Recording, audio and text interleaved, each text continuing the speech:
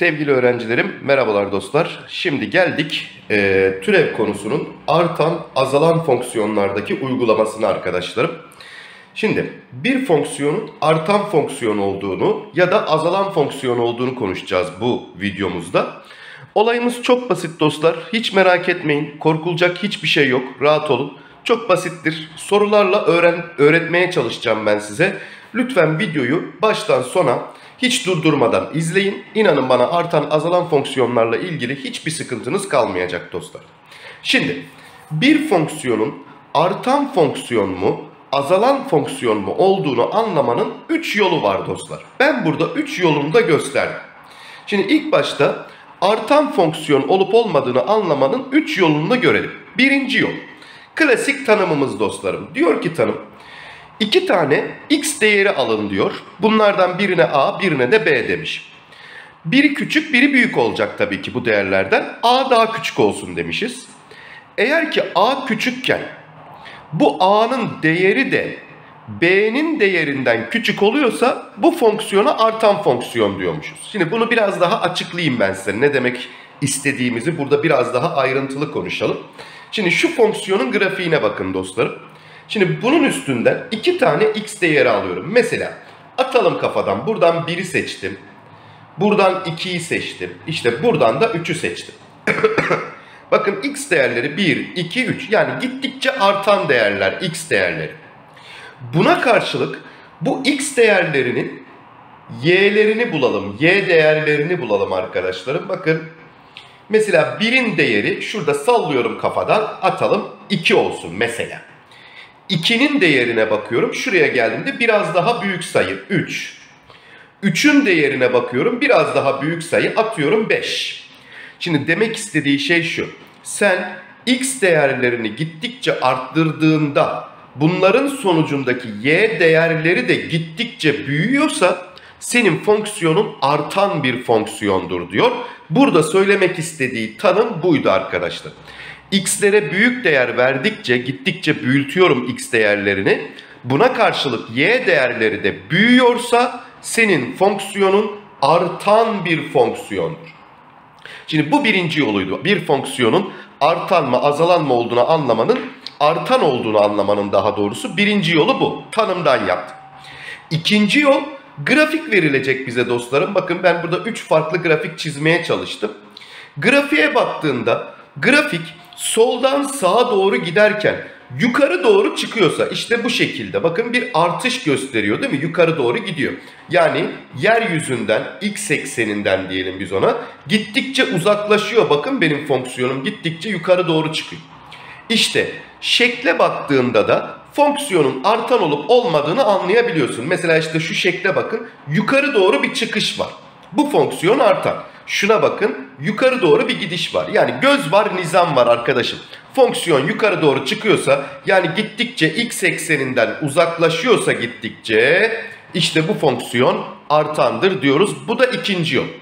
İkinci yolda neymiş? Grafiğe baktığımızda anlayacakmışız. Geldik üçüncü yola yani bizi asıl ilgilendiren kısma. Bir fonksiyon artansa o fonksiyonun türevinin sıfırdan büyük olduğunu bileceğiz biz arkadaşlar türev sıfırdan büyük eşitse biz diyeceğiz ki o fonksiyon artan bir fonksiyondur. Bunun tersi de doğru. Türev sıfırdan büyükse fonksiyon artan, fonksiyon artansa türev sıfırdan büyük. İşte biz sorularda en çok bu bilgiyi kullanacağız. Bunun dışında grafiklerden çok fazla faydalanacağız. Grafiğe baktığımızda artan mı azalan mı olduğunu göreceğiz dostlarım fonksiyonun. Ve şunu da hani şu tanımı nadir de olsa kullanacağız aslında arkadaşlar. Şimdi artanlığı anladık. Aynı şeyleri azalanlık için de konuşalım şimdi dostlar. Bakın azalan fonksiyon. Şimdi 3 tane tanımı var azalan fonksiyonun. Birincisi şu. Bunu artık yorumlayabilirsiniz. Bakın yine x'lere daha büyük değer verdikçe yani verdiğiniz değerleri gittikçe büyüttüğünüz zaman eğer y değerleri küçük kalıyorsa bu da azalan fonksiyonmuş dostlar. Burada da olayı yine daha iyi anlamanız için şurada grafik üstünde gösteriyorum dostlar. Hemen bir tane grafik seçelim. Mesela şu sondaki grafiğe bakalım. Şimdi x değerlerine bakalım. Mesela burada 1 olsun. Burada 2 olsun. Burada 3 olsun. İşte burası 4 olsun falan. x1'in y'deki karşılığına bakalım. Şurası. 2'nin y'deki karşılığı burası. 3'ünki burası. 4'ünki de tam burası. Şunlara da sayı atıyorum. Burası 5 olsun, burası 4 olsun, burası 3 olsun. Bakın x'e 1, 2, 3, 4 şeklinde soldan sağa doğru artan değerler veriyorum. 1'in karşılığı 5. 2'nin karşılığı 4. Bak x değerleri arttıkça y değerleri azalıyor kardeşim. Y değerleri azalıyorsa bizim bu fonksiyonumuz azalan bir fonksiyonmuş. Yani karıştırmayın artanlıkta. Artanlıkta da x değerlerini arttırıyoruz. Azalanlıkla da x değerlerini arttıracağız. Fakat buna karşılık y değerleri artıyorsa artandır, y değerleri azalıyorsa azalandır. Yani fonksiyonun artan mı azalan mı olduğunu y değerlerine göre belirliyorum dostlar. İşte x'e 2 verdim 4 oldu. 3 verdim 3 oldu. Bakın gittikçe düşüyor. 4 verdim 0 oldu falan gibi. Bu birinci yol. İkinci yolsa dostum fonksiyonun grafiğine bakacaksın. Hani grafiğe bak gittikçe soldan sağa doğru x eksenine yaklaşıyorsa bu fonksiyon gittikçe gittikçe x eksenine yaklaşıyorsa senin fonksiyonun azalandır. Bakın soldan sağa doğru şimdiki uzaklık bu. Gittikçe daha da yakınlaşıyor. Bakın x eksenine olan mesafesi gittikçe azalıyor. Dolayısıyla senin fonksiyonun bir azalan fonksiyondur diyebiliriz. İşte soldan sağa doğru grafiğe bakıyorum. Gittikçe x eksenine yaklaşıyor. Hatta tam dibine kadar gelmiş şurada değil mi arkadaşlar? Grafikten anlayacağız ikinci yolumuz. Üçüncü yolumuzsa dostum yine türevden. Eğer fonksiyon azalansa türevi sıfırdan küçük olacak. Türevi sıfırdan küçükse fonksiyon azalan olacak dostum. Şimdi buraya bir de not yazmışız dostlar. Bu notu da bir, bir kerecik görelim. Diyor ki eğer a ile b sayıları için f a ile f b eşitse yani az önce iki tane tanım yaptık ya büyükse dedik buradakiler büyükse artan küçükse azalan dedik eşitse de buna sabit fonksiyon diyecekmişiz dostlar. Bunu söylüyor. Sonra bir de uyarımız varmış onu da bir okuyalım bir kerecik. Bir fonksiyonun türevini aldın. İkinci dereceden bir denklem çıktı türevi. Diyor ki eğer bu durumda a sıfırdan büyükse yani bu demek ne demek? Kolları yukarıya doğruysa bu türev fonksiyonunun ve bu türev fonksiyonun diskriminantı yani b kare eksi 4ac dediğimiz ifade sıfırdan küçük eşitse bu fonksiyon daima artandır diyecekmişiz. Eğer ki yine a küçüktür 0 delta küçük eşit 0 ise f fonksiyonu daima azalan bir fonksiyondur diyecekmişiz ki olay zaten öyle de olması gerekiyor. Bunları şimdi hep sorularda çok daha iyi öğreneceksiniz dostlarım. Şu ana kadar bir bok öğrenmediniz diye düşünüyorum. Yani sadece mevzuyu anladınız ama asıl iş soru çözümünde belli olacak dostlarım. Soru çözdükçe ben bir sürü soru hazırladım size. Bu soruların hepsini çözdükçe, öğrendikçe inanın bana hiçbir sıkıntınız kalmayacak artan azalan fonksiyonlarla ilgili.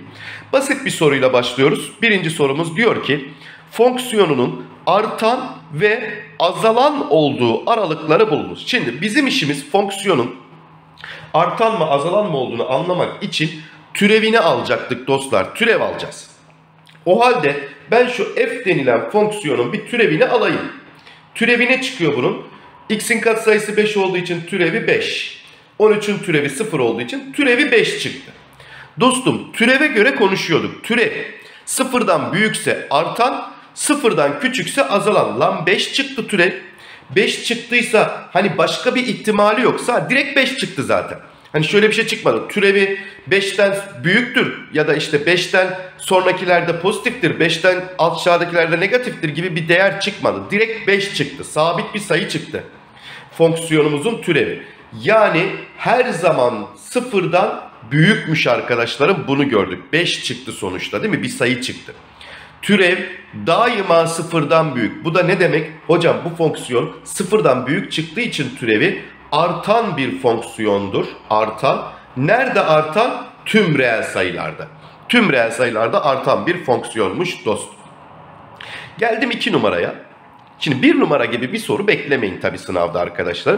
2 numaraya bakalım. Fonksiyonun artan azalan olduğu aralıklar nelerdir diye bir soru soruyor. İşte güzel bir soru. Hadi gelin başlayalım. Şimdi artan azalanlığı sorduğu zaman benim işim türevleydi. Hemen türevi bir alalım ilk önce. Bu fonksiyonun türevi 2x eksi 2'dir dostum. Bu türev alma işini artık hızlıca yapıyorum. Çünkü artık çok iyi biliyorsunuz. Peki. Tamam öğretmen. Şimdi bu türevin biz nerede sıfırdan büyük, nerede sıfırdan küçük, hangi aralıkta sıfırdan büyük, hangi aralıkta sıfırdan küçük olduğunu bulacağız. Dostlar hatırlayın bir fonksiyonun hangi aralıklarda sıfırdan büyük, sıfırdan küçük olduğunu bulmak için biz ne yapıyorduk? Tablo. Eşitsizlik tablosu yapacağız dostlarım. Tablo yapabilmenin yolu da nedir? Bu fonksiyonun kökünü bulacağız ilk önce. Hemen türevin kökünü bulalım. Yani bunu sıfıra eşitleyelim. 2x eksi 2'yi sıfıra eşitlersem x eşittir 1 geldi. Demek ki bunun kökü 1'miş arkadaşım. Hemen şimdi tablosunu oluşturalım. Türevin tablosunu oluşturuyoruz unutmayın. İşimiz türevle çünkü. Artan azalanlıkta. Peki 1'dir bunun kökü diyorum.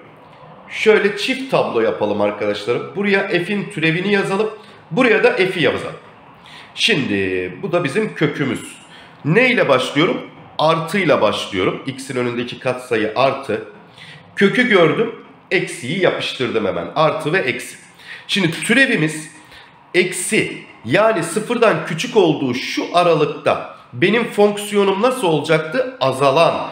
Azalanlığı da aşağıya doğru ok işaretiyle gösteriyor. Peki benim türevimin pozitif olduğu yerlerde fonksiyonum nasıl olacaktı? Artan. Artanlığı da yukarıya doğru ok işaretiyle gösteriyorum. İşte bu tabloyu belki de her soruda oluşturacağız arkadaşlar. F'in türevini yapacağız, F'i yazacağız. F'in türevinin işaretlerine göre F'in azalan mı artan mı olduğunu konuşacağız. O halde buradan çıkan sonuç şu. Bizim F dediğimiz fonksiyon sonsuzla eksi sonsuzla bir aralığında azalan bir fonksiyonmuş. Hemen yazalım onu arkadaşlar. Ee, eksi sonsuz ile bir aralığında azalanmış. Eksi çünkü. bir ile sonsuz aralığında da artanmış arkadaşlar. Bizim fonksiyonumuz 1 ile sonsuz aralığında da artanmış. İşte aralıklarını bulduk arkadaşlar. Hadi geçelim bir soru daha öğrenelim. Evet yine bize bir f fonksiyonu vermiş ve artan azalan olduğu aralıkları bulunuz diyor. Hadi ne yapacağımızı biliyoruz artık. Türevini alacağız. Türevin işaret tablosunu inceleyeceğiz. Dolayısıyla türevin kökünü bulmam lazım işaret tablosunu incelemem için. Hadi türevini alarak bir başlayalım. F'in türevi. 3 başa geldi. 3'ler sadeleşti. Bir tek x kare kaldı. 2 başa geldi. 2'ler sadeleşti. Bir tek x kaldı. Burada da eksi 12 kaldı. Tamamdır. Bu benim türevim. Şimdi türevin işaret tablosunu inceleyeceğim dostlarım. Türevin işaret tablosunu. Ama bunun için neye ihtiyacım var? Türevin köklerine. Eksi 4'e 3 diye bunu ayırıyorum çarpanlarına. Buradan x eşittir bir 4 x eşittir bir de eksi 3 geldi. Hemen köklerimizi yerine yazalım. Bir eksi 3 var bir de 4 var. Şöyle şöyle ayırdık. Şimdi şuraya f'in türevini buraya da f'i yerleştirdim. Ne ile başlıyorum? Bakın x karenin katsayısı artı. En büyük derecenin katsayısına bakıyorduk. Ne ile başlayacağımızı bulmak için. Artı ile başlıyorum. Artı kök görüldü eksi kök görüldü artı. Peki f'in türevi artıysa benim fonksiyonum artan. Eksi ise benim fonksiyonum azalan.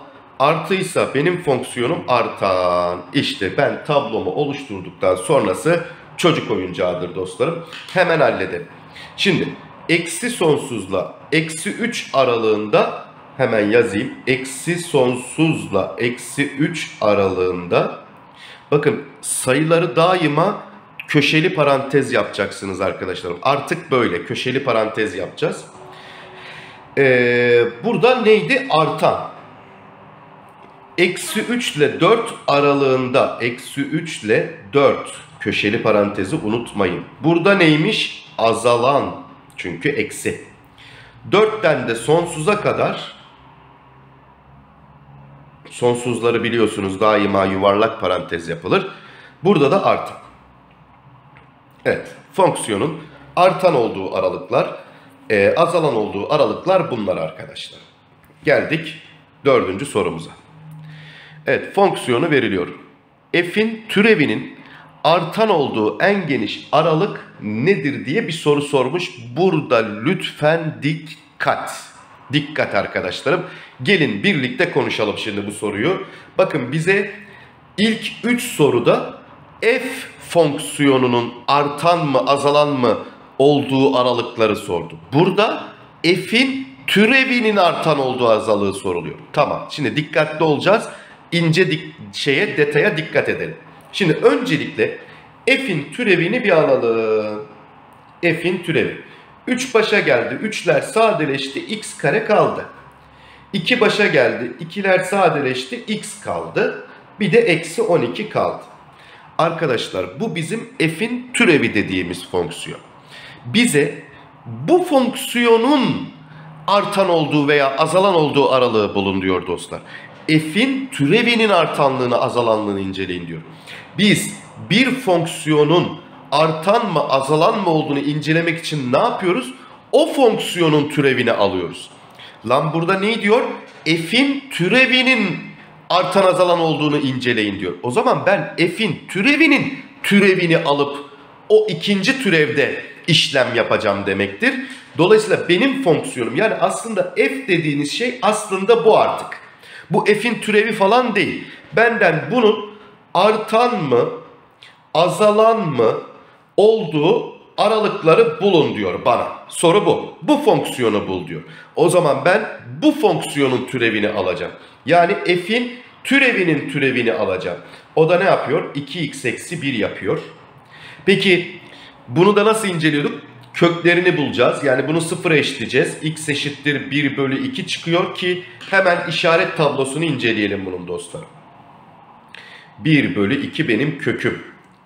Şimdi buraya türevini yazıyorduk. Yani ikinci türevi. Buraya da fonksiyonu yazıyorduk. F'in türevi.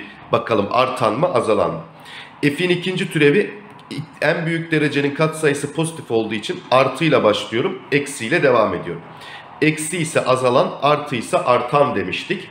Bize neyi soruyor? Artan olduğu aralığı. Artan olduğu aralık 1 bölü 2'den sonsuza kadar olan kısımdır dostlarım. Bakın burada f'in çift türevi pozitif olduğu için f'in türevi dediğimiz fonksiyon artandır. Peki f nedir hocam? f artan mı azalan mı? Onu da bulmam için birinci türevin tablosunu yapmalıydım. Birinci türeve göre konuşmalıydım.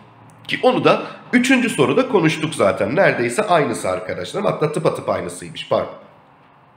Peki o zaman bu sorunun cevabını da bulalım. Diyeceğiz ki f'in türevi 1 bölü 2 ile sonsuz aralığında artandır. Ya da işte hangi aralıkta azalandır f'in türevi? Eksi sonsuzla 1 bölü 2 aralığında da azalandır diyebilirdik. Evet geldik buna 5 numara. Yani burada ince detaylara dikkat edin arkadaşlar. Hangi fonksiyonun artan, hangi fonksiyonun azalan olduğunu soruyor. Ona dikkat edecektik. Beşinci sorumuz. Fonksiyonunun artan olduğu en geniş aralık nedir diye bir soru soruluyor. Yine bize f'i soruyor bu sefer tamam Burada kafa karıştıracak bir durum yok. F'i soruyor. O zaman biz hangi fonksiyonu soruyorsa onun bir kere türevini alıyorduk. F'in türevini alıyorduk. 3 başa geldi. X kare kaldı burada. İşte 2 başa geldi. Eksi 4x oldu. Burası da artı 4. İşte bu benim f fonksiyonumun türevi. Şimdi gelin bunu çarpanlarına ayıralım. Bakın burası eksi 2'ye eksi 2 diye ayrılır. Burası da x'e x diye ayrılır. Yani bu adam aslında x eksi 2'nin karesi dediğimiz fonksiyonmuş. Buradan da hemen sıfıra eşitledim. X eşittir 2 çıktı ki bu çift katlı kök demektir değil mi dostlarım? İşte şimdi dikkat. Çift katlı kök çıkınca bakın neler olacak şimdi görelim. Birlikte inceleyelim arkadaşlar. Şimdi x 2 çıktı tamam. Hocam kökünü bulduk f'in türevinin. Hemen tablosunu inceliyorum. Tablomuzu çizelim. Kökümüz 2. Şöyle yaptık. Buraya f'in türevi dedik. Buraya f'i inceleyeceğiz. Unutmayınız 2 çift katlı kök. Peki. X'in katsayısı artı olduğu için artıyla başlıyorum. Çift katlı kökü görünce işaret değişmiyordu. Burası da artı geldi arkadaşlar. Tamam hocacığım çok güzel oldu. O zaman f fonksiyonu eksi sonsuzla 2 aralığında artandır. 2 ile sonsuz aralığında lan yine artandır. Yani benim fonksiyonum daima artan çıktı. Azalan olduğu hiçbir yer yok. Eksi sonsuzdan artı sonsuza kadar komple artıyor. Daima artıyor. Demek ki benim fonksiyonum tüm reel sayılarda artanmış arkadaşlarım. Artan olduğu en geniş aralık reel sayılarmış bu adam. İnşallah anladık arkadaşlar. Bakın unutmayın çift katlı kök çıkınca burada işaret değişikliği olmadığı için fonksiyon daima artan çıkıyor. Çift katlı kökün olması için de türevin ne olması lazım? Bakın türevinin diskrim tam kare olması lazım. Tam kare. Yani deltasının sıfıra eşit olması lazım. Bu durumda tek çift katlı kök varsa delta sıfıra eşitti unutmayın. İleride bunu kullanacağız da o yüzden şimdiden söylüyorum. Delta sıfıra eşitse çift katlı kökümüz var. Çift katlı kökümüz varsa da işaret değişmediği için artı artı artı artı artı artı gidiyor. Dolayısıyla bu fonksiyon daima artıyor. Ha, eksiyle başlasaydı eksi eksi eksi eksi gidecekti. Dolayısıyla daima azalan diyecektik. Tamam. Delta sıfır, sıfıra eşit bunu unutmayın kardeşim. Geldim buraya. Şimdi fonksiyonun artan olduğu en geniş aralık nedir? Hadi gelin bize bu fonksiyonu sorduğu için f'i, f'in türevini alalım. 3 başa geldi x kare artı 2x artı 7. Buraya kadar geldik. Şimdi ne yapacaktık? Bunun işaret tablosunu inceleyeceğiz. İşaret tablosunu inceleyebilmem için hocacığım benim bunun köklerini bulmam lazım. Hadi çarpanlarına ayırmayı deneyelim. Ya düşünüyorum 7'yi 1 ve 7 diye ayırabilirim. Ama şu ortadaki ifadeye ulaşamıyorum. Yani çarpanlarına sanki ayrılmıyor lan bu. Bunu da anlamanın en güzel yolu ne? Deltasına bakarız anasını satayım. Deltamız neydi? B kare 4 eksi 4 çarpı A çarpı C. Ne çıktı? 28. 4 eksi 28'den eksi 24. Hocam deltası sıfırdan küçük çıktı lan. Delta sıfırdan küçük çıkınca ne oluyordu? Bu adamın kök olmuyordu. Kökü yoktu kardeşim. Peki tamam hocam kökü yoksa biz işaret tablosunu nasıl yapacağız? Deneyelim kardeşim. Bak ne yapacağız şimdi. Bakın gobeller. Şimdi f'in türevini buraya yazıyordum. Çizgimi çizdim. F'i buraya yazıyordum. Ya hocacım kök yok lan kök yok. Yok ki burada bir, bir şey yazacak bir şey yok. Olsun kardeş. Sen şimdi ne diyordun? F'in türevine bak bakayım şurada. X karenin katsayısı ne? Artı. Ben hocam artıyla başlayacağım. Artıyla devam ediyor. La kök yok ki işaret değiştireyim. Demek ki hep artı gidiyor. Yani bu fonksiyon habire artıyor anasını satayım. İşte işaret tablosunu yaptım bak. Demek ki benim fonksiyonum daima artan bir fonksiyonmuş. Daima artan bir fonksiyon demek yani eksi sonsuzdan artı sonsuza yani tüm reel sayılarda artıyormuş. İşte artan olduğu aralık reel sayılardır deriz. R. Şimdi burada da ne dedik kardeşim? Bakın türevin kökü yoksa yani deltası küçük sıfırsa benim fonksiyonum daima artan oluyor. Bir üsttekinde ne dedik? Benim türevimin deltası sıfıra eşitse yine fonksiyonum daima artan veya daima azalan da olabilir arkadaşlar. Oradaki şey buradaki x karenin katsayısına bağlı. x kare artı olduğu için artıyla başladım. İşaret değişmedi. Hep artı gitti. O zaman artan çıktı. Ama burası eksi olsaydı eksiyle başlayacaktım. O zaman da hep azalan olacaktı. Bunu niye vurguladım biliyor musunuz? Hani konu anlatımında yani bir önceki sayfada bir not vardı ya en sonda.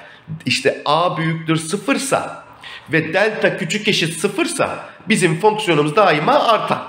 Eğer a küçük sıfır delta küçük sıfırsa fonksiyonumuz daima azalan demiştik kardeşlerim. O hesabı daha iyi anlayın diye. Delta küçük sıfırsa daima artan ya da daima azalan olabilir. Onu dediğim gibi x karenin katsayısı belli eder. Artıysa artandır, eksi ise azalandır. Delta eşittir sıfır ise yine fonksiyonum ya daima artan ya da daima azalandır. azalan mı artan mı olduğunu da x karenin katsayısı belirler. Artıysa artan, eksi ise azalan. İşte orada yazdığımız şey buydu arkadaşlarım. Demek ki delta küçük eşit sıfır ise küçük veya eşittir sıfır ise benim fonksiyonum ya daima artan ya da daima azalan oluyormuş. Peki. Peki peki anladık geldik 7 numaralı soruya. 7 numara. Evet şimdi canım kardeşlerim siz bir yandan şu soruyu okurken ben de rahatlamak adına biraz ağzımız dilimiz damağımız kurudu. Ya hepiniz ne yapacağımı tahmin ettiniz zaten şu anda bence. Ya da birazdan bu sesi duyduktan sonra Of. Ee, şey nerede? Neyse. Yok lan. Hakikaten. Allah Allah. Neyse. Şey. Al sana küllük. Evet. Devam. Diyor ki 7. sorumuzda fonksiyonun artan, azalan olduğu aralıkları bulunuz diye bir sorumuz var arkadaşlarım. Şimdi artık ne yapacağınızı çok iyi biliyorsunuz bence. Fonksiyonu bize bu sefer kesirli bir fonksiyon vermiş. Hiç böyle değişik bir şeymiş gibi düşünmeyin, algılamayın arkadaşlarım. Hiç sorun değil. Gelin birlikte konuşalım. Bakalım neler yapacağız. Şimdi artan azalan olduğuna bakmak için türevini alıyorduk fonksiyonun. O zaman hocam hiç vakit kaybetmeyelim. Biz bu 7. sorudaki f fonksiyonunun türevini bir bulalım. Hadi gelin f'in türevi diyelim. Kesirli bir ifade var. Hemen birincinin türevi işte üstün türevi yani eksi 2'dir. Çarpı ikinciye aynen yazıyorum x artı 1. Eksi ikincinin türevi 1'dir. Çarpı birinciye aynen yazıyorum 6 eksi 2x. Bölü diyorum. x artı 1'in karesi diye yazdım. Evet türevini aldım. Biraz düzenleyeyim şimdi bu türevi. Yani üstteki ifadeyi biraz şöyle bir açalım, toparlayalım. Bakalım neler gelecek ona bir bakalım. Eksi 2'yi içeriye dağıtıyorum. Eksi 2x, eksi 2. Eksi 1'i içeriye dağıtıyorum. Eksi 6 artı 2x oldu. Bölü x artı 1'in karesi geldi. Hadi bir satır daha toparlayalım. Bakın eksi 2x ile artı 2x gitti. Geriye eksi 8 bölü x artı 1'in karesi kaldı. Tamam hocacığım. Şimdi biz bu fonksiyonun artan mı azalan mı olduğunu inceleyecektik değil mi? Bunun için de bu fonksiyonun türevini alacaktık. Türevinin köklerini bulacaktık yani sıfır yapan değerleri. Sonra tablosunu inceleyecektik. Tabloya göre de hareket edecektik. Şimdi canım kardeşim bak hiç tabloya gerek kalmadı. Birinci sorumuzda bir değerli, birinci sorumuzun aynı sorusu, sorusu oldu arkadaşım. Türevine bak, türevin sonucu bu. Sen bu sonuca baktığında hani birinci soruda biz ne bulmuştuk? F'in türevi 5 çıkmıştı. Bu ne demek F'in türevi 5? Yani F'in türevi pozitif bir şey çıktı. O zaman dedik ki daima artandır. Tüm reel sayılarda artandır dedik. Şimdi burada da bakarsan F'in türevinin çıktığı değer eksi 8 bölü bir şey. Lan bu bir şey dediğim şey kare değil mi? Peki kare dediğim bir ifadenin negatif olma ihtimali var mıydı kardeşim? Yok. O zaman şurası daima pozitif. E hocam burası da eksi 8 lan daima negatif. Eksiyi artıya bölersem bu işlemin sonucu daima negatif bir sayı çıkar. Yani hep sıfırdan küçük çıktı. F'in türevi eksi bir şey çıktı. Sıfırdan küçük geldi. Neydi bunun sonucu? Buradan bizim çıkartacağımız sonuç ne? Demek ki f fonksiyonu azalandır. Daima azalandır.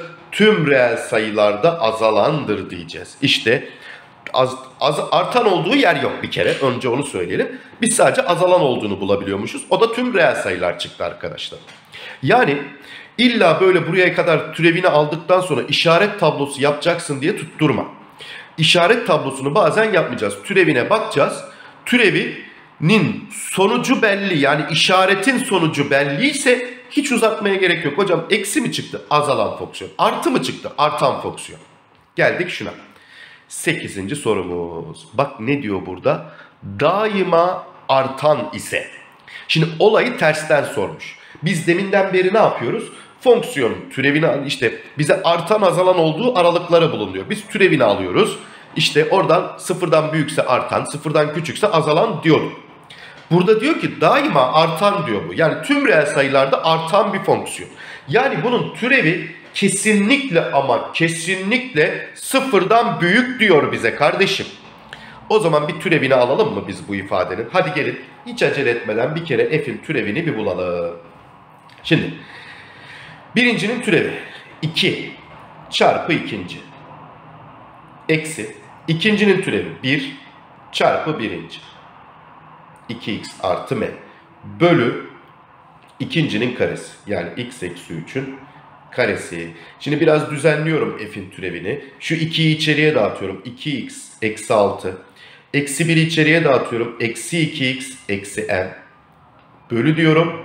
x eksi 3'ün karesi.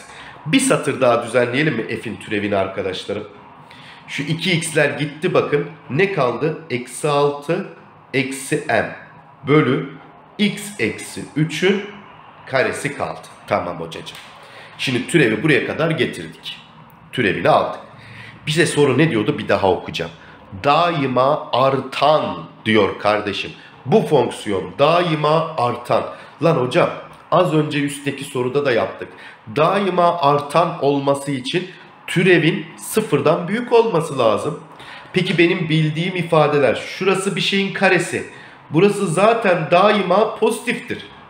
O halde diyorum ki şu üstteki ifadede yine pozitif olmalı ki olmalı ki sonuç artı bölü artıdan artı çıksın kardeşim. Artı çıksın ki türev daima artan olsun diyor. O zaman benim söylemem gereken şey şu. Eksi 6 eksi m dediğim şey daima sıfırdan büyük olmalı. Artı bir sayı çıkmalı. Peki eksi 6'yı at bu tarafa ya da eksi m'i at bu tarafa. Eksi 6 büyüktür m. Yani m'nin aralığı şuymuş. Eksi 6'dan küçük olacakmış dostlarım. Nereye kadar? Eksi sonsuza kadar. O zaman eksi sonsuzla eksi 6 aralığında olacakmış benim aradığım ifade diyebiliriz. Tamam. Oldu mu? Hadi bakalım goberler bir sonrakine bakalım. Dokuzuncu soru. Bak yine kesirli bir ifade. Bence artık burada videoyu bir durdur. Kesirli bir ifadede ne yapacağını da çok iyi öğrendim bence sen. Daha doğrusu aslında hepsinde aynı şeyi yapıyoruz. Bir kere türev alacağız. Hadi bir türev alalım mı? Sen niye sallanıyorsun? Şöyle sabit dur. Heh. Türev. Birincinin türevi 3 çarpı ikinci eksi ikincinin türevi çarpı birinci bölü ikincinin karesi. Şimdi ben bunu biraz düzenliyorum arkadaşlarım. 3x geliyor, eksi 3x geliyor. Bunlar sadeleşti dostlar. 3 geliyor, artı 2 geliyor, 5 oluyor burası. Şimdi burayı biraz da hızlı yapayım istedim. Yani daha çözeceğimiz çok soru var. Öyle her seferinde de hızlı hızlı yapalım ki biraz çok da uğraşmayalım sorularla. Artık biliyorsunuz çünkü. Peki türev bu çıktı. Hocam üst taraf artı 5 yani pozitif. Alt taraf zaten bir şeyin karesi yani pozitif. O halde bu işlemin sonucu pozitif çıktı. Yani sıfırdan büyük çıktı. Peki sonuç sıfırdan büyük çıkıyorsa, sonuç sıfırdan büyükse biz ne demiştik? Türevin eğer sonucu türev pozitif çıktıysa daima artandır demiştik. Bizim fonksiyonumuz daima artan bir fonksiyondur. Tüm reel sayılarda artıyordur. Ee, azalan olduğu yer yoktur deriz. Evet. Geldik 10 numarolu soruya. 35 dakika olmuş arkadaşlarım. Devam. Ya bunlar kaç soru vardı burada hatırlamıyorum ki ya. Yine bir 20 falan vardı herhalde. Evet 25 tane soru hazırlamışım. Artan azalanlıkla ilgili arkadaşlarım. 25 sorumuz var. Ya hepsini bir videoya sığdırmaya çalışayım ama video çok uzun bir video olur bu durumda. İkiye mi bölsek bunları da? Şöyle En azından birazdan zil çalacak derse gireceğim. O zamana kadar çözeyim arkadaşlarım. Saatte kaç saate de bakamıyorum ki videodan. Neyse şunu bir çözelim hadi. Fonksiyonunun daima artan olması için. Tamam hocacığım. Fonksiyonumuz hemen türevi alınacak bir kere. Artanlık azalanlıkta. Alalım. Aha da zil çaldı. 3x kare e, artı 12x artı a eksi 1'dir bu fonksiyonun türevi. Şimdi bu fonksiyon yani bu ikinci dereceden denklemin daima artan ya da daima azalan olmasını istiyor olabilirdi de. Bir kere daima azalanlığı soramaz. Çünkü a dediğimiz yani x karenin katsayısı büyük sıfırdan. Sıfırdan büyükse bize burada artanlığı sorar. Azalanlığı soramaz. Peki hatırlayın şimdi birkaç soru önce vurguluya vurguluya söylemiştik arkadaşlarım. Ben orayı iyi öğrendiğinizi zannediyorum. İyi öğrendiğinizi düşünüyorum. Bir fonksiyonun ikinci dereceden bir fonksiyonun daima artan olması için ne demiştik? Bu fonksiyonun x karenin katsayısı bir kere sıfırdan büyük olacak. O zaten öyle geç orayı. Ve diskriminantı yani deltası ya sıfırdan küçük olacak ya da sıfırdan küçük eşit şey sıfırdan küçük olacak arkadaşlarım ya da sıfıra eşit olacak demiştik hatırlayınız. İki soru çözmüştük peş peşe o iki soruda gömmüştük zaten bu, bu mevzuyu halletmiştik ya da konunun başında da kısa bir bilgi olarak not olarak bunu vermiştik. Böyle olması lazım demiştik ama o biraz ezbere girdi. Soruların içerisinde daha da iyi öğrendik. Şimdi o halde bizim burada söyleyeceğimiz bilgi şu. Bu fonksiyonu yani f'in türevinin deltasının sıfırdan küçük eşit olması gerekir. Yani ya kökü olmayacak ya da çift katlı kökü olacak ki daima artan ya da daima azalan olsun. O halde hemen diskriminantını bulalım bu adamın. Deltası küçük eşit sıfır olmalı diyelim. Deltamız b kare 144 eksi 4 çarpı a çarpı c yani a eksi 1 küçük eşit 0 olmalı. Toparlayalım bunu. 144 burada dursun. Küçük eşittir. 12 tane a eksi 1 olarak buraya geçecek. 12'ler sadeleşecek. 12 küçük eşittir. a eksi 1 oldu. Eksi 1'i bu tarafa aldım. 13 küçük eşittir. a geldi. Demek ki benim a dediğim şey a'nın aralığı 13 ile büyük olacak sonsuza kadar gidecek. Sonsuz açık 13 kapalı aralıktır dedik. İşte a'nın alacağı aralık bu aralık olmalıdır dedim dostlarım. Şimdi arkadaşlar şöyle yapacağız. Zil çaldı. Ben şimdi bir derse gireceğim. Sonra bir saatim daha boş. O boşta kalanlarını da çözmeye çalışacağım ama benim videoyu burada durdurmam lazım. Videoyu burada durduruyorum. Sonraki videoyu da çekip ikisini birleştiriyoruz arkadaşlarım. Oradan devam edeceğiz falan filan. Hadi bakalım öpüyorum hepinize. Kendinize iyi bakın. Görüşmek üzere. Evet gençler şimdi 11 numaralı soruya kadar gelmiş idik. Artan ve azalanlıkta. Şimdi dedik ki ee, bunları videoları birleştireceğim dedim ama bir önceki video yanlış hatırlamıyorsam 30 dakika falan sürmüştü. Hani bu bakalım kaç dakika sürecek bu video. Eğer bu da böyle bir uzun sürerse olmadı 1 ve 2 şeklinde artan azalanlığı da 2 videoda halletmiş oluruz deriz. Ya da baktık kısa sürüyor ikisini birleştiririm tek videoda da atabilirim arkadaşlarım. Şimdi 11 numarayı okuyalım. Şimdi sizler artık yani bu sorudan ee, çözdük daha önceki 7, 8, 9 numaralı sorularımız. Yine bu sorudan da arkadaşlarım buna benzer sorulardı. İsterseniz burada bir videoyu durdurun. Bu soruyu bir kendiniz çözmeye çalışın derim ben. Sonra benim çözümümü izlersiniz arkadaşlar. Şimdi diyor ki fonksiyonunun daima azalan olması için. Şimdi daima azalan da dese, daima artan da deseydi biz bir kere bu fonksiyonun türevini alacağız aga. İşimiz türevli. Hadi bir türevini alalım sonrasını konuşuruz artık. Şimdi fonksiyonun türevi. Birincinin türevi a çarpı ikinciyi aynen yazıyorum. Araya eksiği çaktım. İkincinin türevi 1 çarpı birinciyi aynen yazıyorum. ax eksi 2'ymiş. Sonra bölü diyorum. İkincinin karesini yazıyorum. x artı 3'ün karesi. Şimdi bunu bir satır düzenleyelim. f'in türevi diyelim. İçeriye dağıtıyorum. ax artı 3a eksi ax artı 2 bölü x artı 3'ün karesi geldi. Bakınız sadeleşenler var. AX'ler gitti. Yani geriye şu kaldı f'in türevinde. Yazalım onu. 3a artı 2 kaldı. Bölü x artı 3'ün karesi kaldı. Tamamdır hocam. Şimdi f'in türevini aldık. Şimdi soruyu bir daha okuyabilirim. Diyordu ki daima azalan. Daima artan diye de sorabilir arkadaşlarım. Bana azalanı sor. Şimdi bir fonksiyonun daima azalan olması için ne olması lazımdı? Bu adamın türevinin sıfırdan küçük olması gerekiyordu. Şimdi peki bu adamın türevi burası. Bunu sıfırdan küçük olması için. Lan hocacığım şurası zaten bir şeyin karesi olduğu için daima pozitif değer alır. Demek ki şu üst kısım negatif olacak ki eksi bölü artıdan bu küçüktür sıfır gelsin. Yani türevinin sıfırdan küçük olması için tek şartım pay kısmının eksi olması lazım. 3a eksi 2'nin sıfırdan küçük olması lazım hocam. Bu durumda türev negatif oluyor. Türev negatif olduğu için de benim fonksiyonum azalan oluyor. O halde 3a eksi 2 küçüktür 0. Yani 3a küçüktür 2. Yani a küçüktür 2 bölü 3 olmalı.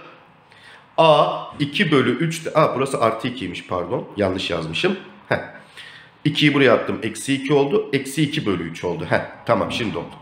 A eksi 2 bölü 3'ten küçük olmalı. Yani aralığını soruyor A'nın. Eksi sonsuzla eksi 2 bölü 3 aralığındadır dedim A. Evet geldik 12 numaralı soru. Evet iki tane misafirimiz geldi az önce. Başımın belası iki tane cici öğren e, arkadaşımız. Şimdi gittiler kaldığımız yerden devam ediyoruz 12. sorumuza. Fonksiyonu daima artan ise arkadaşlar artık bu soruyu da kendiniz çok rahat çözebilirsiniz. O yüzden videoyu burada bir durdurun, bir deneyin. Olmadı yine birlikte bir şeyler yapmayı deneyelim. Şimdi bu soruda da daima artan demiş. Daima azalan da diyebilirdik kardeşlerim. Biz ne yapıyorduk bu sorularda? Hemen f'in türevini alıyorduk. Alalım bir f'in türevini. Şimdi birincinin türevi 3 çarpı ikinciyi aynen yazıyorum. mx artı 1. Araya eksiği çaktım. İkincinin türevi m çarpı birinciyi aynen yerleştirdik. Bölü dedik. İkincinin karesi yani mx artı 1'in karesidir dedi. Şimdi bunu bir açalım. Ee, bir düzenleyelim burayı. Şöyle oluyor. 3mx artı 3 eksi 3mx artı 6m geliyor. Şurada karesi var unutmayalım. mx artı 1'in karesi dedik. Şimdi yine sadeleşenlerimiz var artık bu kesirlilerde görüyorsunuz. Her zaman şu sadeleşenler çıkıyor karşımıza. Ne kaldı? 3 artı 6m kaldı. Bölü mx artı 1'in karesi kaldı. Evet türevi buraya kadar getirdik. Şimdi diyordu ki bize türev sorumuzda daima artan olmasını istiyor. Daima artan olması için benim sonucumun pozitif çıkması lazım. Yani sıfırdan büyük çıkması lazımdı. Bunun için şuna bakıyorum. Şimdi payda zaten bir şeyin karesi olduğu için daima pozitif çıkar. Sonucun pozitif çıkması için pay kısmının da pozitif olması lazım ki artı bölü artıdan sonucum artı çıksın. O halde 3 artı 6m şuraya yazalım onu. Şöyle araya bir bölelim. 3 artı 6m'in daima sıfırdan büyük olması lazım. Yani pozitif olması lazım. Demek ki 6m büyüktür eksi 3 olacak. 6'ya bölelim. m büyüktür eksi 1 bölü 2 gelecek dostlar. Evet m eksi 1 bölü 2'den büyük olacak. Sonsuza kadar gidiyor. Yani eksi 1 bölü 2 ile sonsuz aralığındadır diyebiliriz sorunun cevabına. Geçtik 13 numaralı sorumuza. Nerede? Heh, bu arkada değil buradaymış. 13 numara. Evet. Şöyle 3 tane soru görüyorum burada. 13, 14, 15'i. Bunlar grafikli sorular. Grafikten yorum yapacağız artık arkadaşlarım.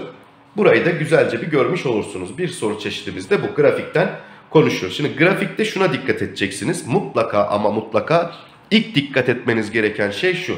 Bana fonksiyonun kendisinin türevi, kendisinin grafiğini mi vermiş? Yoksa bakın hemen 15. soruya bakın. Türevinin grafiğini mi vermiş? Bu ikisini de yorumlamayı iyi bilmeniz lazım dostlarım. Şimdi f'in grafiğini verdiğinde biz neye bakacağız? Bunu birlikte konuşalım, birlikte tartışalım. Şimdi f'in grafiğini verdiğinde ben artan mı azalan mı şuna bakıyorum. Grafiğin şeklinden hareket ediyorum. Yani ilk konuyu anlatırken f fonksiyonun grafiğini verdiğinde ben artan mı azalan mı olduğunu şöyle anlıyordum. Grafiğin şekline bakıyorum. Bakın grafik burada yukarıya doğru çıkıyor. Şuraya kadar geldiğimde şu kısım da benim f dediğim fonksiyonun artış yaptığını, gittikçe x'ten uzaklaştığını fark ediyorum. Dolayısıyla benim f dediğim fonksiyon burada artan bir fonksiyondur. Peki artan olması ne demekti dostlarım? Türevinin sıfırdan büyük olduğu anlamına geliyordu. Demek ki burada benim türevim sıfırdan büyük. Nerede? Bakın eksi 4 ile eksi 2 aralığında benim fonksiyonum artan. Ya da hatta eksi sonsuzdan başlıyor bakın bu. Eksi sonsuzdan geliyor geliyor geliyor. Demek ki buraya kadar bir artış gösteriyor. Peki tam 2'ye geldik durduk. Şimdi 2'den sonrasında da bakın şuraya kadar bir azalış var. Fonksiyonumda azalış hissediyorum. Görüntüsüne baktığımda burada aşağıya doğru bir iniş var. Demek ki benim fonksiyonum burada azalıyor dostlarım. Burada azalan. Azalan demek f'in türevi küçüktür sıfır demektir. Bunu da söylemiş olun. Sonra 2'ye geldikten sonra 2'den itibaren tekrar artışa geçiyor benim fonksiyonum. Bakın yukarıya doğru yükseliyor. Demek ki burada da artandır diyeceğim ve f'in türevi büyüktür sıfır diyeceğim. İşte fx'in grafiği verildiğinde yani türevinin değil direkt fonksiyonun grafiği verildiğinde ben artan mı azalan mı olduğuna nasıl bakıyormuşum? Grafiğin şekline göre hareket ediyormuşum. Yukarı doğru çıkıyorsa artan, aşağı doğru iniyorsa da azalandır diyormuşuz. Şimdi buna göre de diyor ki aşağıdakilerden hangileri doğrudur? Konuşalım şimdi aşağıdakileri. F'in türevinde sıfırdan bahsediyor. Şimdi sıfır nerede? Şurada. Sıfır şu kırmızı çizginin içerisinde yani şu aralıkta benim sıfır dediğim ifade. Eksi 2 ile 2 aralığında. Peki benim fonksiyonum burada azalan mıydı? Azalandı. Peki azalan demek türevi sıfırdan küçük müydü her zaman? Sıfırdan küçüktü. O zaman buradaki bütün x değerlerini şu aralıktaki x değerlerini türevde yerine yazınca sıfırdan küçük bir değer çıkıyor. Çünkü fonksiyonum azalan. Çünkü fonksiyonum burada hep sıfırdan küçük değerler alıyor türevi. Türevi sıfırdan küçük değerler alıyor. O halde f'in türevinde sıfır yani şu aralığın içinde olduğu için negatif bir sayıdır diyebilirim. Peki f'in türevinde 3'e bakalım. 3 nerede? Şurada bir yerde. Yani 2'den büyük bir sayılar sayıydı. Peki burada benim fonksiyonum 2'den büyük değerlerde artan olduğu için f'in türevi de sıfırdan büyük çıkacak. F'in türevinde sıfırdan büyük olduğu için bu aralıkta sen buradaki hangi değeri yazarsan yaz x yerine hepsi sıfırdan büyük gelecek. Dolayısıyla bu da artı geldi. Ve eksi ile artının çarpımı nedir? Eksidir. Yani sıfırdan küçüktür. O yüzden bu doğru bir öncüldür arkadaşlar. Geçelim ikinci öncüle. F diyor eksi 2 ile 2 aralığında bakın eksi 2 ile 2 şu kırmızıyla çizdiğim yerde bir azalış gösteriyor. Azalandır. Evet doğru. Üçüncü öncül. Eksi 4 ile 2. Eksi 4 ile 2 de mavi ile çizmiştim ve şekle göre artış gösteriyor. Artandır. Doğru. 2 ile sonsuz. Bakın 2'den büyük değerlerde şurada artış gösteriyor sonsuza doğru. Demek ki burada da artandır. O halde bu da doğru. Demek ki hepsi doğru diyeceğiz dostlarım. Evet geldik 14 numaralı sorumuza. Bakınız dikkatli olun. Burada bize f'in türevinin grafiğini vermiş dostlarım. İşte burada da türevinin grafiğini verdiğinde ne yapacağımızı konuşacağız şimdi. Direkt türevin grafiğini vermiş. Şimdi benim bir fonksiyonun artan mı azalan mı olduğunu anlamak için neye bakmalıydım? F'in türevine. F'in türevi pozitifse, F'in türevi pozitifse sıfırdan büyükse artandı. F'in türevi sıfırdan küçükse azalandı. Şimdi grafiğe baktığımda F'in türevinin x'in altında kalan bir parçası var mı? Yani y'lerin eksi olduğu yerlerle bir işi var mı bu grafiğin? Yok. Bütün grafik x'in üstünde yani y'lerin pozitif olduğu yerlerde arkadaşlarım o halde benim f'in türevi dediğim şey hep pozitif değerler alıyor. Her zaman pozitif değerler. Yani f'in türevi daima sıfırdan büyüktür. O halde benim f'in türevi sıfırdan büyükse benim f fonksiyonum daima artandır dostlarım. Bunu söyleyebilirim ben şimdilik. Grafiğe baktığımda f'in türevinin grafiğini vermiş. F'in türevinde de şuna bakıyormuşum. Grafik x'in altına düşmüş mü, düşmemiş mi? X'in altındaki yerlerde f'in türevi olduğu için negatiftir. X'in üstünde olduğu yerlerde f'in türevi pozitif olduğu için dostlarım. Burada bakıyorum x'in üstünde olduğu için bütün grafik hepsi x'in üstünde. Demek ki benim fonksiyonum hep pozitif değerler alıyor. F fonksiyonum daima artandır diyorum. Türevi sıfırdan büyük olduğu için. O halde birinci öncülüm kesinlikle ama kesinlikle doğru. F fonksiyonu R'de artandır arkadaşlarım. Burada bir sıkıntımız yok. Geldik şimdi ikinci öncüle. Şimdi şurada f'in türevinin grafiği verilmiş. Bakın diyor ki f'in ikinci türevi 2 yoktur. Tamam. Biz şimdi hatırlayın arkadaşlar. İlk başta türevi anlatırken dedik ki bir fonksiyonun kırık çizgilerde türevi yoktur.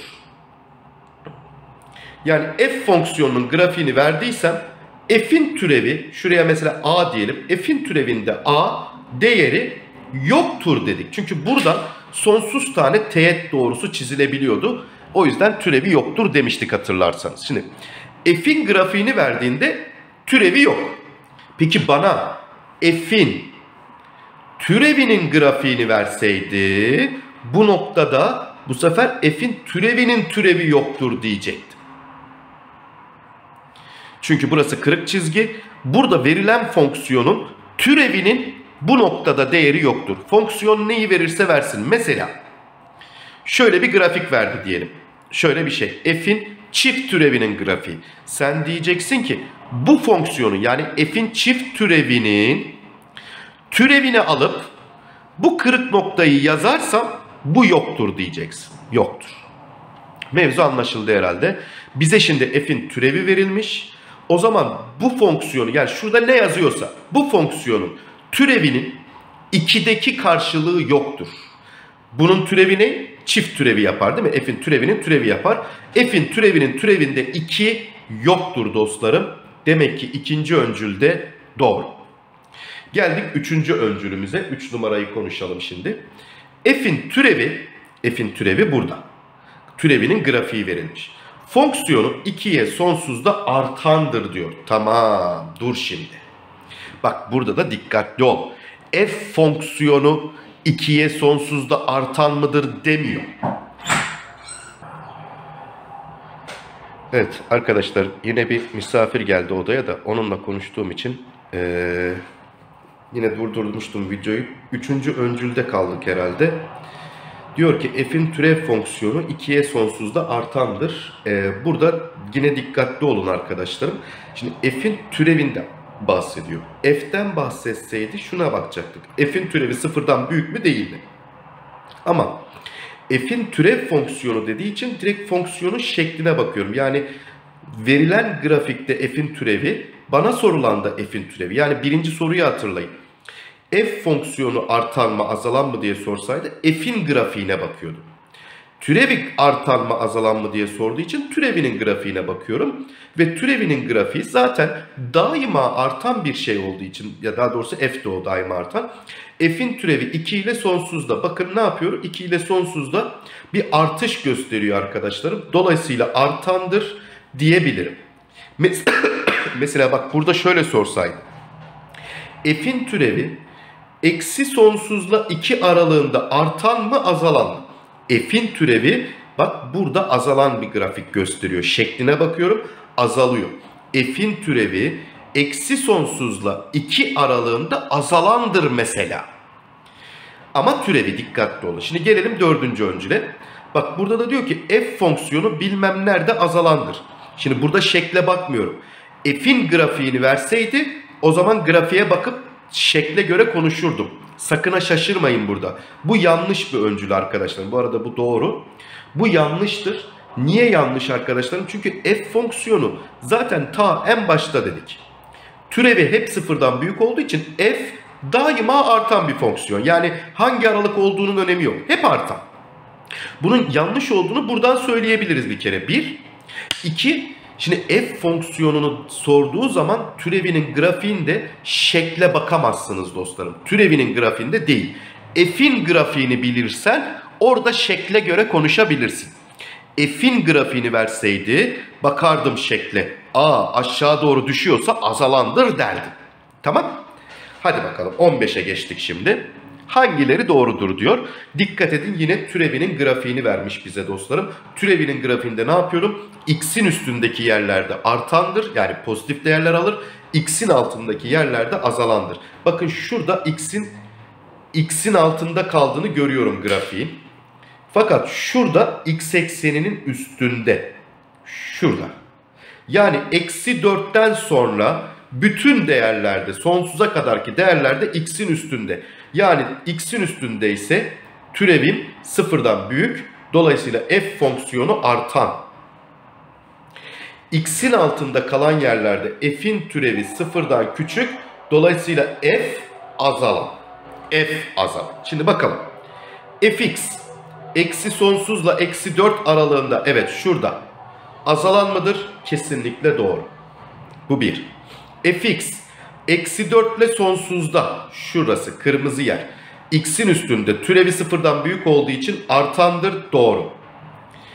f'in türevi dikkat f'in türevi eksi sonsuzdan eksi 2'ye eksi sonsuzdan eksi 2'ye kadar şöyle bir şey. Dostum f'in türevini soruyor. Şekline bakacağım değil mi? Türevinin grafiği verildiği için. Şekle bak. Burada bir artış gösteriyor mu? Şekle bakıyorsun sadece. Artan bir grafik var. Dolayısıyla burada artandır doğru. F'in çift türevinde eksi 2. Şuradaki eksi 2'den bahsediyor. F'in çift türevinde eksi 2. Sıfırdır diyor. Evet. X eksenine paralel teğet olduğu için F'in türevinin bu noktadaki türevinin değeri sıfırdır. Doğru. Buraya kadar hepsi doğruydu. Şuna bakalım. Şuraya gelelim şimdi. F'in çift türevinde eksi 3. Eksi 3 nerede dostlarım? Şurada bir yerde eksi 3. F'in türevindeki grafikte eksi 3'ü biliyoruz biz. F'in türevi burada artan bir grafik gösterdiği için F'in çift türevi sıfırdan büyük olur. Bakın. F'in türevi burada artış gösteriyor değil mi? Artan bir fonksiyon. Demek ki F'in türevi burada artan. F'in türevi artan ise f'in çift türevi sıfırdan büyüktür demiştik hatırlarsanız. Demek ki f'in çift türevi burada sıfırdan büyük. yani buradaki eksi 3 değeri için sıfırdan büyük bir sayı çıkacak kesinlikle. O yüzden bu da doğru. Peki şuna bakalım. fx eksi 2 ile 2 aralığında.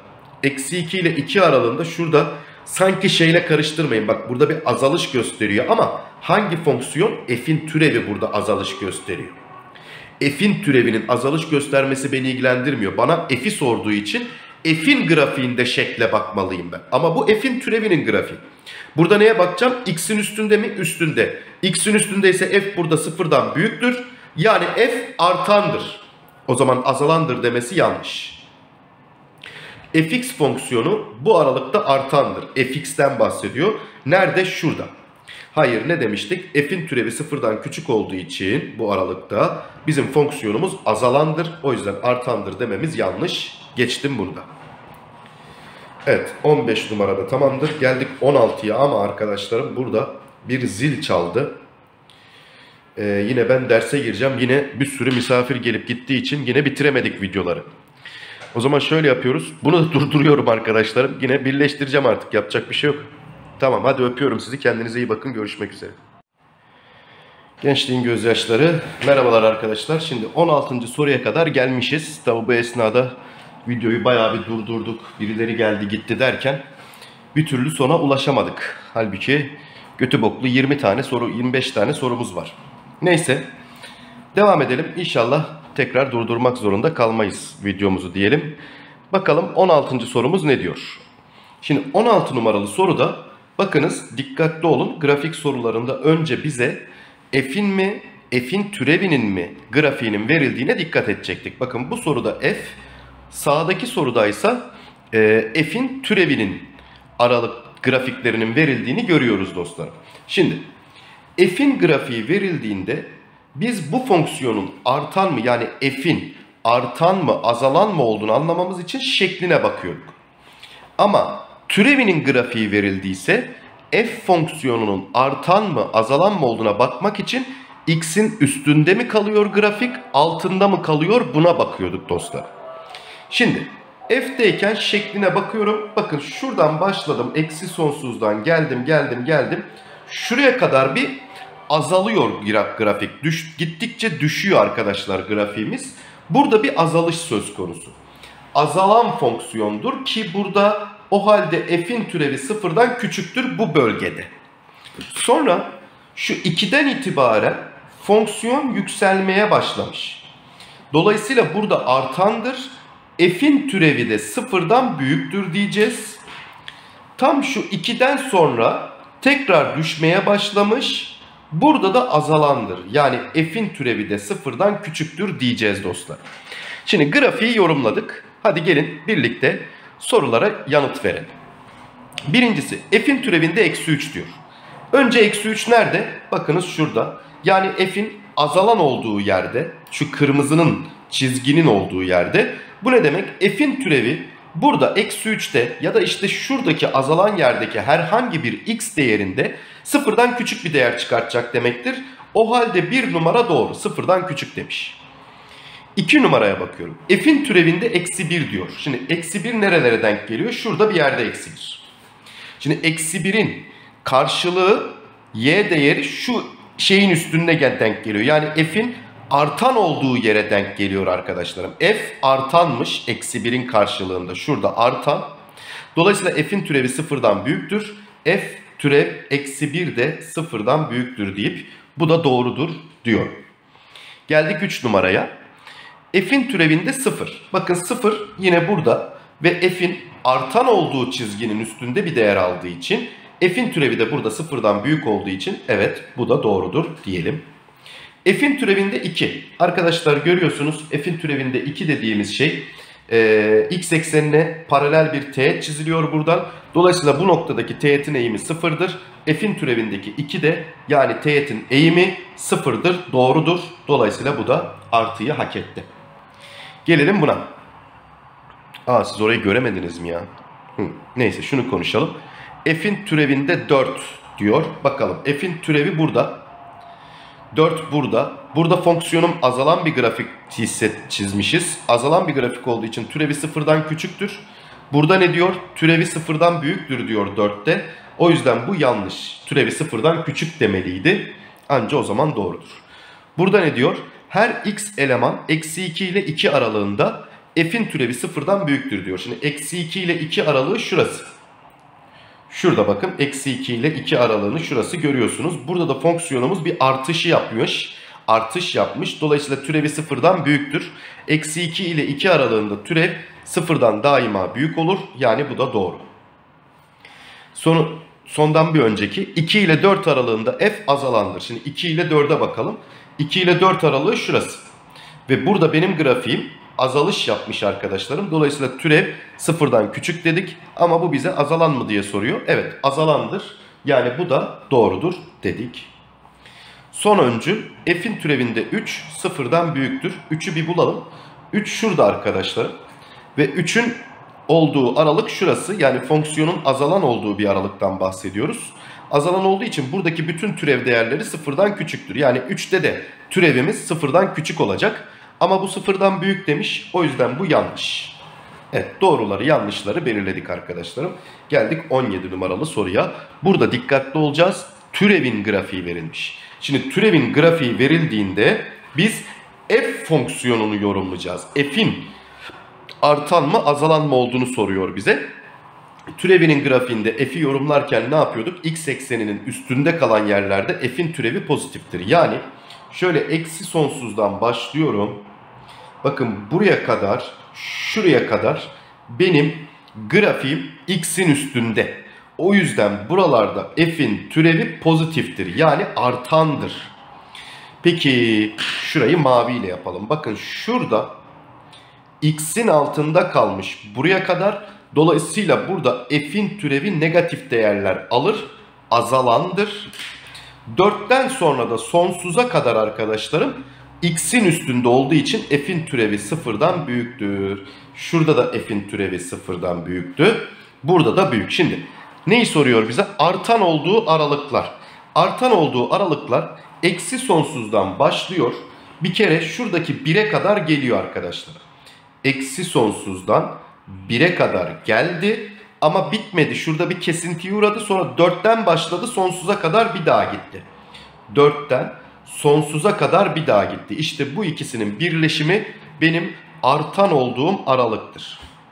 Azalanı bulalım hemen. Azalan da zaten şurada gözüküyor. 1 ile 4 aralığındaki değerlerde de azalan x'in altında kaldığı için 1 ile 4 aralığındaki değerlerde de azalan bir fonksiyondur dedik.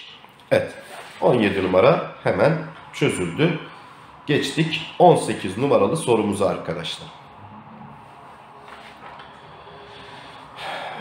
Bakalım ne diyor. Yine bize f'in türevini vermiş dostlar. Bakın dikkatli olun. Türevini verdiğinde f hakkında yorumlar istiyor. Gördüyseniz bütün öncüllerde f var. Şimdi f hakkında yorum yapacaksak x'in üstünde mi altında mı kalmış diye bakacağız. Hemen biz kendimiz bir yorumlayalım. Bakın şuraya kadar olan kısımlarda x'in üstünde. Demek ki türev sıfırdan büyük. Şurada şuraya kadar olan kısımda x'in altında. Demek ki türev sıfırdan küçük. Şurada şu kısımda x'in üstünde demek ki türev sıfırdan büyük. Şurada da x'in altında demek ki türev sıfırdan küçük. Evet. Şimdi ne diyor? Eksi 2 ile 2 aralığında f. Eksi 2 ile 2 aralığında türevi sıfırdan küçük. O zaman azalan. Doğru. 4 ile 5 aralığında şurası. 4 ile 5 aralığında f'in türevi sıfırdan büyük. x'in üstünde kalmış. O zaman artan. Doğru. 2 ile 4 aralığında. 2 ile 4 aralığında x'in üstünde kalmış f'in türevi yine sıfırdan büyük. Artan. Bu azalan diyor. Yanlış. Eksi sonsuzla eksi 2 aralığında şuraya kadar olan kısım. F'in türevi sıfırdan büyük çünkü x'in üstünde artan olacak. Bu yine azalan diyor. Yanlış. 1 ile 2 doğru. 3 ile 4 yanlış. Evet 19 numaralı sorudayız. F'nin grafiği verim. Türevinin grafiği verilmiş. Bakın yine türevinin grafiği. X küçük 0 için diyor. Artandır. Bakın x'in sıfırdan küçük olduğu yerlerde şurası bizim burada artandır değil mi? Çünkü x'in üstünde kalmış. F'in türevi burada sıfırdan büyük. Şekline bakmıyorduk burada. Aşağı doğru düşmüş hocam azalan değil mi demiyorduk. F'in türevinin grafiği verildiğinde x'in üstündeyse artan, altındaysa azalan. Yani burada f'in türevi sıfırdan büyüktür artan. Bakın şurada f'in türevi sıfırdan küçüktür azalan. Şimdi bir doğru. X değerleri sıfırdan küçük olduğu için soldaki tarafta evet artan. Ama sıfırdan büyük olduğunda yani ikinci öncüle bakalım. Sıfırdan büyük olduğunda küçük sıfır olduğu için azalan. O zaman bu da doğru. F'in çift türevinde sıfır. Bakın F'in türevindeki sıfır değeri sıçrama noktası olmuş. Süreksiz tanımlı değildir dostlarım. E bu da doğru. Evet. Üçü de doğruymuş. Geçtik 20 numaraya. Şimdi diyor ki bir fx fonksiyonu var. Sıfırla sonsuz aralığında tanımlı. Negatif değerli. Şimdi bir kere burada konuşalım. Bizim x değerlerimiz sıfırla sonsuz aralığında. Yani sıfırdan sonsuza kadar pozitif değerlerde. O halde x dediğimiz ifade kesinlikle sıfırdan büyükmüş. Bu bir. İki. Bu negatif değerli bir fonksiyonmuş. Yani x'i yerine yazdığımda sıfırdan küçük değerler alıyormuş. Ve artan bir fonksiyonmuş. Artan demek ne demek? Türevi sıfırdan büyük demektir. Evet. Buna göre aşağıdakilerden hangisi aynı aralıkta azalandır? Şimdi aşağıdakileri tek tek inceleyelim. Aralık hangisinde azalan mı artan mı diye sorduğunda ne yapıyorum? Ben o verilen ifadenin türevini alacağım. Şimdi bunun türevini alalım. Türevi nedir bunun diye soralım. Türevini alıyoruz. Eksiye hiç dokunmadım. F'in türevinde x çıktı bu. Peki f'in türevi nasıl bir değerdi? Pozitif. Başında da eksi var. Eksi ile artının çarpımı eksi. Yani sıfırdan küçük çıktı. O halde bu azalandır dedik. Şimdi B şıkkına bakıyoruz. Türevini alacağız. Türevine göre konuşacağız. Şimdi türevini alalım. 2'yi başa aldık. Üstü bir azalttık. Çarpı içinin türevi. F'in türevinde x geldi. Peki fx nasıl bir fonksiyondu? Sıfırdan küçük değerler alıyordu. F'in türevi sıfırdan büyük. Eksi ile artının çarpımı eksidir. Yani sıfırdan küçük bir değeri çıktı bunun türevinin. Sıfırdan küçük çıktığı için azalandır dedim. A ve B azalan çıktı arkadaşlarım. C'ye bakıyoruz şimdi. C. Türevini alacağız bir kere. Hemen alalım. Bunu önce şöyle yazalım mı? Ee, yukarıya atalım bunu. F'in eksi birinci kuvveti demektir bu. Şimdi eksi biri başa aldım. Türev alıyorum şimdi. Eksi bir çarpı F'in eksi ikinci kuvveti bir azalttım. Çarpı içinin türevi. F'in türevinde x geldi. Peki şurada bir eksimiz var. Şimdi fx ne olursa olsun sıfırdan küçüktü ama karesini aldığım için pozitif değer aldı. Bunu da yazalım. F'in türevi nasıldı? Sıfırdan büyüktü. Bu da artı. Artı ile artının çarpımı artı. Artı ile eksinin çarpımı eksi çıktı sonuç. Yani sıfırdan küçük çıktı. Azalandır dedik. İlk üçü azalan çıktı arkadaşlarım. Dördüncüye bakalım. Hemen türevini alalım. Bir kere f'in türevini alıyorum. İçine aynen yazıyorum. Çarpı içine giriyorum. İçinin türevi 2x. Şimdi türevi bu. Şimdi f'in türevi neydi? Sıfırdan büyük değerler alıyordu f'in türevi. O zaman burası pozitif. x nasıl değerler alıyordu? x zaten bu aralıkta negatif değerli bir fonksiyon şey bu aralıkta olduğu için sıfırla sonsuz aralığında artı sayılar var. x de pozitif. O yüzden 2 ile çarpınca bu da pozitif oldu. Artı ile artının çarpımı da artı çıktı. Yani sıfırdan büyük çıktı. O zaman son şık artandır dedik. Evet yine benzer bir soru. Her x pozitif gerçek sayısı için diyor. Şimdi x'ler bir kere sıfırdan büyükmüş. Negatif değerli diyor. Demek ki fx'ler sıfırdan küçükmüş. Artan diyor. Demek ki f'in türevi sıfırdan büyükmüş arkadaşlar. Hangisi artan azalan durumlarını inceleyin diyor. Bakın birinci A şıkkına bakalım. Burada çarpımın türevi var. Birincinin türevi 1 çarpı ikinci artı ikincinin türevi çarpı birinci. Şimdi konuşalım. fx nasıl bir sayıydı? Sıfırdan küçük. f'in türevi sıfırdan büyük. x sıfırdan büyük. Bakın şöyle bir sonuç çıktı. Eksi çıktı burası. Arada artı var. Artı ile artının çarpımı da artı geldi. Eksi ile artının toplamı. Şimdi burada ne olması lazım? Hangisinin daha büyük bir değer aldığını bilmem lazım benim. Büyük olanın işareti çıkar sonuçta dışarıya. O yüzden bunun hakkında bir yorum yapamayız. Bilinmez diyelim. Bu artan mı azalan mı sonucunun eksi mi artı olduğunu bilmediğim için hiçbir bok yapamadık bununla ilgili. B şıkkına bakalım. Türevini alalım. 5'in türevi zaten 0 geç onu. Eksi fx'in türevi eksi dursun f'in türevinde x'tir arkadaşlarım bu. Peki f'in türevi nasıl değerliydi? F'in türevi sıfırdan büyüktü. O zaman burası artı. Başında da eksi var. Eksi çıktı. Yani küçük sıfır geldi. B şıkkı azalandır. Sonuncusuna bakalım. 3'ü başa aldık. Türev alıyoruz. 3 başa geldi. Kuvveti bir azalttık. 2 kaldı. Çarpı içine girdik. F'in türevinde x'tir dedik. Şimdi bunun türevini alalım. F'in karesi dediği için zaten karesi olduğu için f'e bakmama gerek yok. Direkt pozitif. F'in türevi pozitif. Artı ile artının çarpımı da artı çıktığı için sıfırdan büyüktür. Bu da artandır dedim dostlar. Evet 21 numarada tamamdır. Çevirdik. 22 numaralı sorumuza geçelim artık.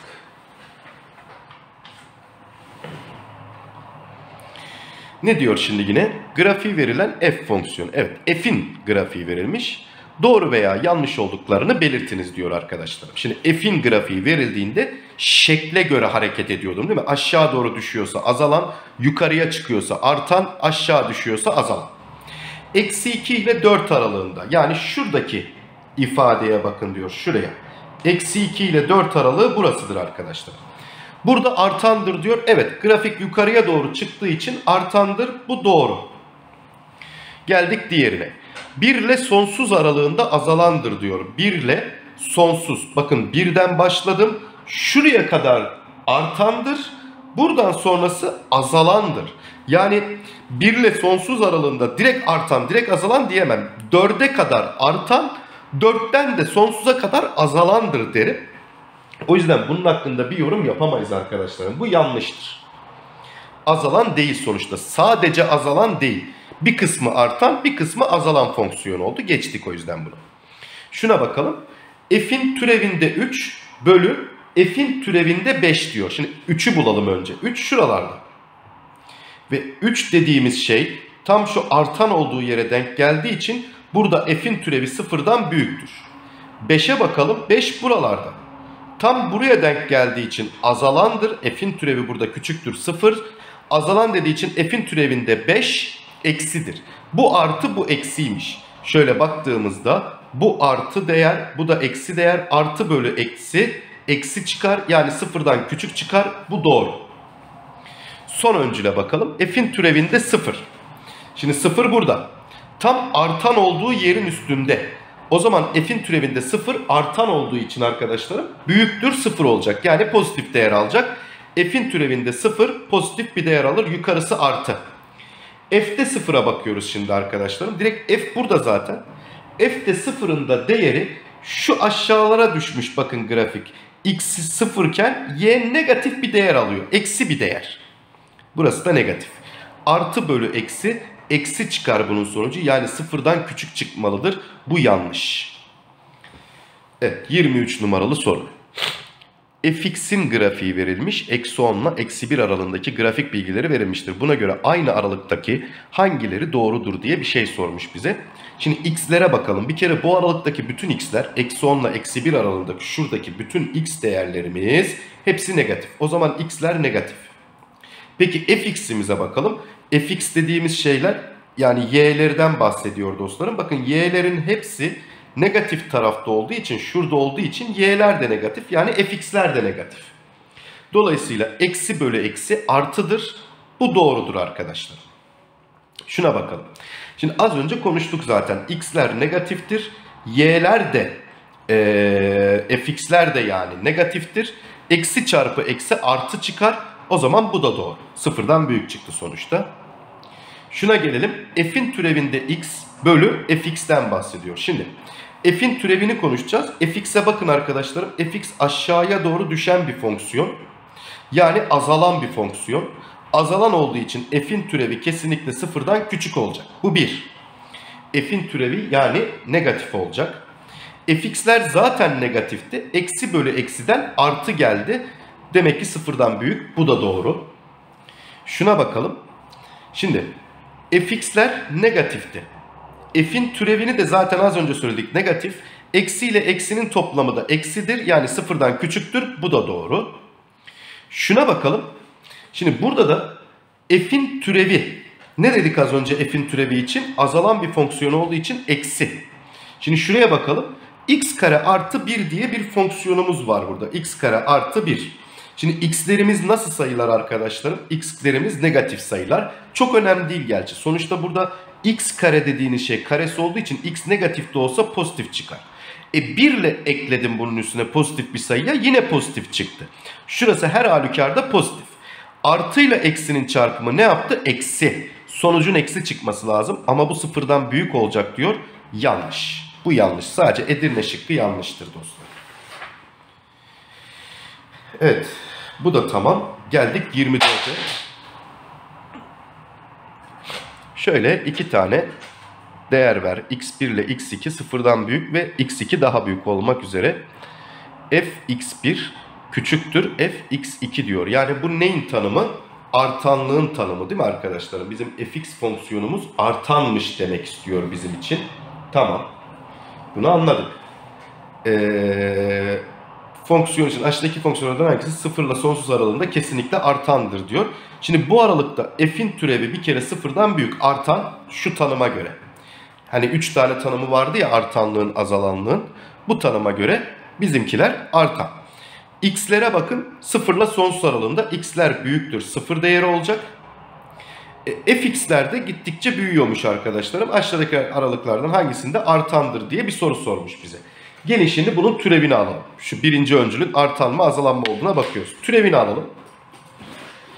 1 gelir buradan. Artı f'in türevinde x gelir. Şimdi 1 zaten pozitif bir sayı. F'in türevinin de pozitif olduğunu söyledik. İkisi de toplama olduğu için ve artı artı olduğu için sonuç pozitif çıkar. Yani sıfırdan büyük çıkar dolayısıyla artandır. Birinci öncülümüz kesinlikle artan. Geldik ikinci öncüle. Bölümün ifadesi var. Hemen türevini alıyorum. Birincinin türevi çarpı ikinci eksi ikincinin türevi çarpı birinci bölü ikincinin karesi. Şimdi aşağısı zaten pozitif. Karesi olduğu için burası kesin pozitif. F'in türevi sıfırdan büyüktü. Burası da pozitif. X de sıfırdan büyüktü. Burası da pozitif. Artı ile artının çarpımı artı. Şuraya kadar artı. Şuraya bakalım. fx dediğimiz şeyin ifadenin değerini bilmiyoruz. Yani fx, y'ler sıfırdan büyük mü küçük mü bunu bilmiyoruz. O yüzden burası bilinmez. E bilmediğim bir şey hakkında da yorum yapamam arkadaşlarım. Bu işlemin sonucu hakkında artan mı azalan mı bilinmez diyorum geçiyor. Üçüncü öncü. Türevini alalım hemen. 1 eksi f'in türevinde x olur. F'in türevi pozitiflidir ama 1 de pozitiftir de artıdan artı çıkıyor arkadaşlarım. Hangisi ne olduğunu bilmediğim için birden küçük mü büyük mü bir değer olduğunu bilmediğim için e, bunun da sonucu bilinmez. Yani son olarak pozitif mi negatif mi bilmeyiz bunu. Dördüncü öncüle bakalım. Hemen türevini alalım. Ben şimdi kısaca alıyorum arkadaşlarım. Eksi f'in eksi ikinci kuvvetinde x çarpı f'in türevinde x geliyor ki şurası zaten hani kare ama kare pozitiftir. Bir de başında eksi olduğu için eksi. F'in türevi de pozitif bir değer alıyordu. Artan olduğu için eksi ile artan çarpımı eksidir. Kız sıfırdan küçük. Demek ki bu azalan. Son öncülümüze bakalım. F'de 3 eksi x diyor. Hemen türevini alalım. F'in türevinde 3 eksi x çarpı içinin türevi eksi 1. Şimdi f'in türevi daima pozitif. Burada da bir eksi sayımız var. Eksi ile artının çarpımı eksi yani sıfırdan küçüktür. O halde bu da azalandır dedik. Evet 25 numaralı sorumuz son sorumuz arkadaşlarım. fx'in grafiği verilmiş. Fonksiyonun grafiği verilmiş de buna göre aşağıdakilerden hangisi doğrudur diye bir şey yapılmış arkadaşlar. Şimdi f'de 4. Eksi 4 hatta. Eksi 4 nerelere denk geliyor? Şurada bir yerde. Eksi 4'ün karşılığı bakın şurası. Negatif bir sayı. Burası eksi. F'in türevinde eksi 4. Şimdi eksi 4 burada ve f fonksiyonunun grafiği verilmiş. Burada bir artış var. Şurada bir artış. Şuraya kadar bir artış geliyor hatta değil mi? 1'e kadar şuralara kadar. Demek ki burada f'in türevi sıfırdan büyük artan olduğu için. E, f'in türevinde eksi 4 de sıfırdan büyüktür. Eksi ile artının çarpımı eksidir. Bu büyüktür sıfır diyor arkadaşlarım. Sıfırdan büyük olsun diyor ama sonuç negatif çıkıyor. Bu yanlış. Bunu geçtik. Geldik 2'ye. Şimdi f'de eksi 2. Eksi 2 nerede? Şurada bir yerde. f'de eksi 2 dediği için eksi 2'nin karşılığı y'nin şuradaki değerine denk geliyor. Yani pozitif bir y oluyor. Burası artı. F'in türevinde 0. 0 burada. F'in türevinde 0 dediği için ee, burada da bir artan bir fonksiyon olduğu için kardeşim artış yaptığı için ne olacak bu? F'in türevinde 0 ee, yok türevinde 0 burada azalana mı geçiyor? Tabi azalışa geçmiş. Bakın şuradan itibaren bir azalış var. Demek ki f'in türevi burada sıfırdan küçük. O halde sıfır değeri yani şuradaki bütün x değerleri için f'in türevi sıfırdan küçüktür. Demek ki ikinci öncülümde şu eksi geldi. Artı ile eksinin çarpımı eksidir. Dolayısıyla bu da sıfırdan küçük olacak diyor. Doğru. Üçüncü öncüle bakalım. F'in türevinde eksi 5 diyor. Eksi 5 şuralarda bir yerde. Fonksiyon artan olduğu için türevi sıfırdan büyüktür. Tamam. Burada artı. F'de türevde 5. 5 şuralarda bir yerde. 5 buralarda. Ve yine fonksiyon artış olduğu için fonksiyonumuz hakkında artan bir fonksiyon olduğu için bu da e, pozitiftir derim. Burası da pozitiftir artan olduğu için. Artı ile artının çarpımı artı çıkacak. Bu eksi demiş yanlış. Şimdi f'de 2 f'de 4. F'de 2. 2 şurada. 2'nin değeri negatif y'ye denk geliyor. F'de 2 negatif. F'de 4. 4 şurada. 4'ün değeri pozitif bir sayıya denk geliyor. Demek ki bu da artı. Eksi ile artının çarpımı eksidir. Bu da büyüktür sıfır dediği için yanlış. F'in türevinde eksi 3. Eksi 3 burada fonksiyonum artış yaşadığı için burası pozitif değer alır. F'in türevi burada pozitiftir. Demek ki artıyı yapıştıralım. F'de 4. Az önceki soruda bulduk. F'de 4 de artıydı. Bu da artı. Artı ile artının çarpımı artı çıkacak. Bu eksi çıkacak demiş. O yüzden bu da yanlış. Yalnız 2 doğrudur arkadaşlarım. Evet. Böylelikle sorularımızı bitirmiş olduk. Bir sonraki videomuzda ekstremum noktalarına giriş yapacağız dostlar. Ekstremum noktalarını çözeceğiz. Sonra e, artan azalanlık ve diğerleriyle ilgili karma sorulara geçeceğiz inşallah diyelim. Evet gençler hadi bakalım öpüyorum hepinizi. Kendinize iyi bakın. Görüşmek üzere.